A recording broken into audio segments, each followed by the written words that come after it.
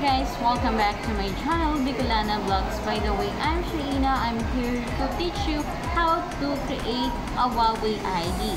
Ah, si Huawei ID is usable siya, nagagamit natin. Ah, kagandahan itong Huawei ID kapag nakaregister tayo sa Huawei ID, yung mga special offer or VIP VIP ah, ano ni Huawei is mapapakinabangan natin, magagamit natin gaya ng ah, support app, um, tawag niya, yung sa ah, Huawei video, and then sa music, and then sa Teams, magagamit natin kapag meron tayong ah, Huawei ID. Ayan guys. Ah, kung nagtatanong kayo kung paano, paano, paano siya ah, gawin is, ah, una is ganito siya. Pakita ko lang. Ayan, pupunta tayo sa setting. Pupunta tayo sa setting. Kung nakikita nyo is meron siyang log, login to Huawei ID. Ayan. Tap mo lang yung login to Huawei ID. And then, uh, click the register. Ayan. And then, allow mo lang siya.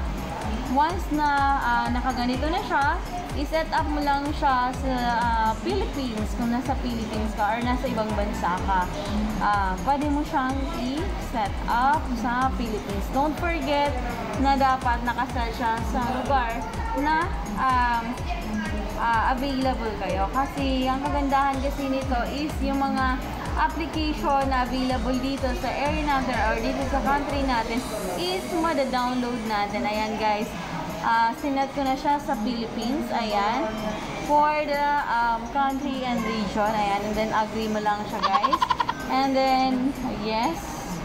And then set up natin yung um, i-set up natin yung um, birthday. For example, birthday ko, ayan. And then, 1990, secret. Ayan, secret na lang, guys.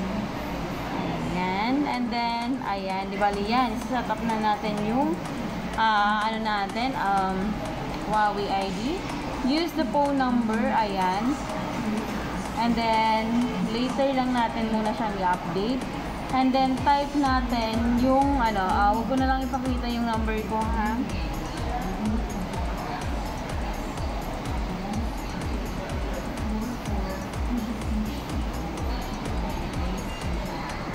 Bali, yan na yung number ko. Ah, di ko na masyado mapakita. Basta ita-type niyo yung number niyo dito sa baba.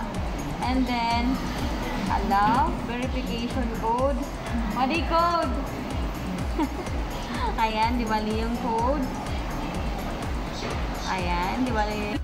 Ayan guys, di bali, ah, nag-send yan ng codes. 39. Di bali, ang mangyayari nito is, um, pwede na natin siyang Ayan. Ayan, gawan ng ano, kaya dapat yung ilalagay yung number is active active siya kasi mag-send siya ng uh, code. Ayan. For example, ayan, gagawa natin siya ng password. Make sure, pwede may pangalan, at least 6 6 uh, ay at least 8 numbers or 8 na ano na letters. Ayan. Minimum 8. Ayan. Di bali, ginawan ko na siya ng ayan. Okay na guys. Ayan. Ito na siya. And then, set. Okay, allow mo lang siya. And then, ayan. And then, okay na. Password natin. Naka-set up na siya guys. Ayan. Okay na, select. And then, punta na tayo sa downloadan ng application ni uh, App Gallery. Ayan. App Gallery. Okay. Later. And then, punta tayo dito sa Me. Tignan natin. Ay, naka-register na yung Huawei ID natin, guys. Ito na siya. Yung Huawei ID is registered na. Um, magagamit natin siya when it comes to downloading. Ayan, may mga uh, may mga freebies or mga ano, mga items na libre siya. Ayan. Tingnan mo. Um, meron siyang summer cashback claim Ayan, meron siyang pa nag-download ng application. And then, ayan, yung mga application, meron siyang mga point system na pwede natin i-ano para makaroon tayo ng diamonds. Ayan. And then, makuha tayo ng tickets. Ah, may free 50 coins na kasama kapag dinownload niyo yung mga application na ah, recommended. Ayan. For rewards, ayan. May rewards din siya, guys. Ayan yung rewards. Magagamit natin yung rewards coupons. Ayan. Dito yan papasok. Pero sa ngayon, kasi kamagawa pa lang natin ng account, kasi hindi pa siya. Ayan. Sa wishlist, ah, we... wish list. Ayan. Medyo blur. Ayan. Wish list. Ayan, pwede natin ilagay yung application na gusto natin na i-download kung wala pa siya sa app gallery. And then, purchase history, kung halimbawa ginamit na natin yung ah, mga points natin na redeem. And then, um, ayan guys, ito na yung app gallery. We can download the application using the app gallery. Ayan guys. Pag dinap mo pala to, ayan, pwede mo siyang lagyan ng personal information. Ayan guys, uh, personal information, pwede mo lagyan ng nickname, tapos uh, ID, and then pwede mo siyang i-edit.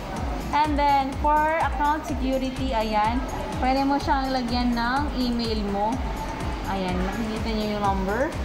And then, hmm, ayan, ito yung makikita nyo. Ayan, kung napapansin nyo is, ayan. Ayan yung mga nakalagay. Fill upan nyo na lang guys. And then, uh, the Huawei Cloud, dito pwede kayong mag-save ng mga uh, files kung sakaling man ma-misplace or halimbawa mawala yung phone or masira. Kung naka-register kayo dito na naka-open yung Huawei Cloud ninyo, pwede nyo pa rin ma-retrieve or makuha yung mga files na sinave nyo sa Huawei Cloud. Ilalagin nyo lang naman siya. Ayan. Yun yung kagandahan nitong uh, Huawei Cloud natin. Ayan. Pwede mong i-sync yung mga application dito. Uh, contacts, uh, mga pictures, gallery, pwede mo siyang uh, i-save sa Huawei Cloud. Ayan. Meron din siyang member center. Ayan. Pwede mo i-download para at least na may ano ka, uh, membership or yun na nga, uh, regarding sa member, pwede ka doon mag-join. Ayan. And then, yun nga, pwede ka naman mag-scan ng QR code kung may mga coupon na available na pwede natin gamitin. For example, coupon, ganito, ayan. Kung may mga ganito tayo, lalo na kung may Huawei ID tayo, ito yung mga ah, VIP na pwede nating makuha. Di bali, scan lang natin siya dito. And then, ah, makukuha na natin yung mga ah, free sa Huawei Video, Huawei Mobile Cloud, ah, sa Huawei Music, sa Huawei Books, and Huawei Things. Ayan guys. Ayan. Yan yung kagandahan na meron tayo ng ah, Huawei ID. Kaya mas maganda is kapag naka-Huawei kayo, is i-register nyo na siya sa Huawei ID para at least kung ma-misplace yung phone niyo, pwede nyo pa rin ma-retrieve yung mga sinave natin na files dun sa Huawei Cloud. Ah, thank you. Hope na gustuhan nyo itong um, ginawa kong video. Sana makatulong to lalo na sa mga Huawei user na hindi alam kung ano ang purpose ng Huawei ID. Thank you. Sana mag-subscribe kayo. Salamat.